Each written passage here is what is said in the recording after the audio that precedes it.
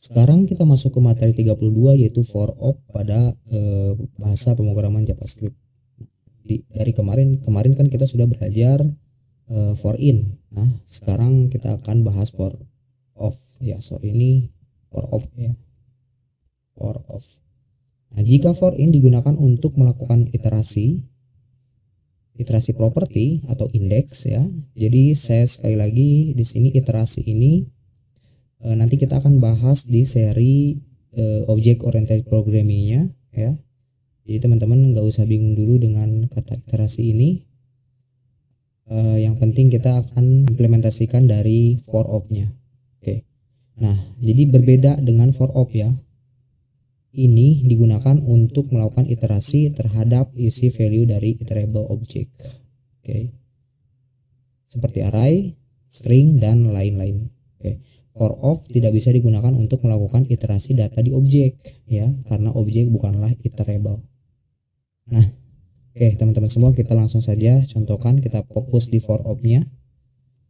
Lalu uh, ini uh, contoh dari kode for of seperti ini ini di array penggunaan di array ya oke kita coba ya kita coba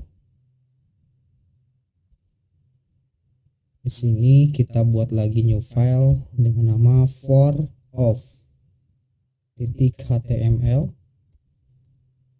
Seperti biasa kita buka dulu uh, eh, HTML nya lalu title-nya di sini for Oke, kita buat script.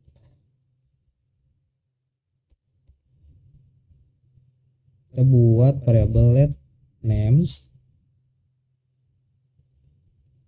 yang diisi dengan uh, array.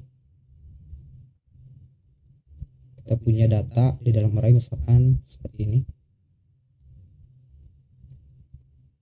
Oke.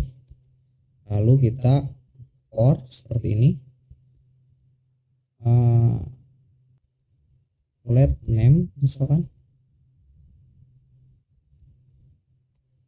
name of apa nih names jadi kita ngambil dari uh, array names yang ini untuk dimasukkan ke dalam variable name nya jadi bukan indeks lagi di sininya. Jadi name ya yang diambil name nya oke jadi tinggal di sini uh, dokumen dot right line uh, kita langsung saja name-nya di sini tampilkan. Kita coba uh, running nah maka keluar ya? Dean Ahmad Jelani. Seperti ini teman-teman semua. Atau uh, kita gunakan uh, backtick supaya terlihat iterasinya. Nah, di sini name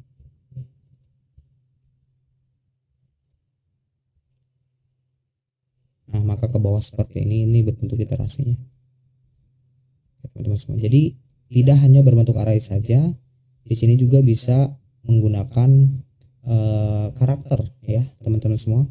Karena tadi bisa menggunakan array atau string ya. Kita coba saja misalkan di sini copy. Kita copy lalu ini misalkan eh, dalam arraynya kita buat variabel karakter yang memiliki data seperti ini misalkan. Dalamnya ini karakter. Oke. Okay. di sini uh, names karakter. Nah maka akan muncul seperti ini. Ke bawah. Ini karakter. Oke ini untuk penggunaan dari stringnya. Ya, ini untuk penggunaan array di dalam for of ya teman-teman semua. Tapi kalau misalkan kita paksakan objek dimasukkan ke dalam for of ya kita coba misalkan di sini objek. Kita buat let misalkan eh, person gini. Ini ada misalkan eh, first name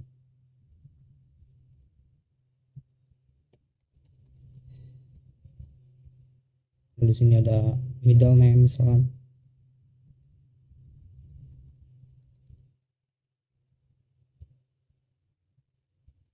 Oke, kita coba gunakan for op for.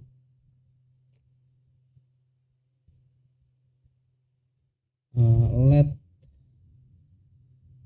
person misalkan seperti ini atau hmm, property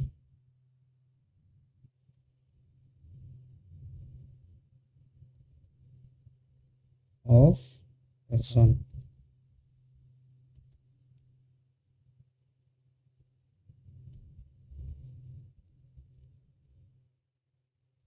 Lalu kita cetak propertinya. Nah maka tidak keluar ya teman-teman semua. Data objeknya di sini tidak keluar ya. Jadi tidak ada. Meskipun saya udah refresh ini tetap tidak keluar. Kalau misalkan kita lihat di konsol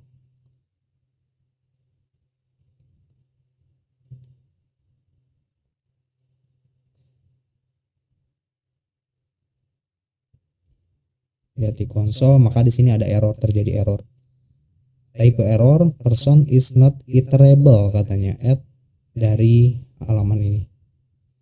Nah jadi bukan e, objek itu bukan iterable. Nah, nanti kita akan bahas apa itu iterable pada e, object oriented programming. Oke teman-teman semua semoga memahaminya. Sampai ketemu lagi di video selanjutnya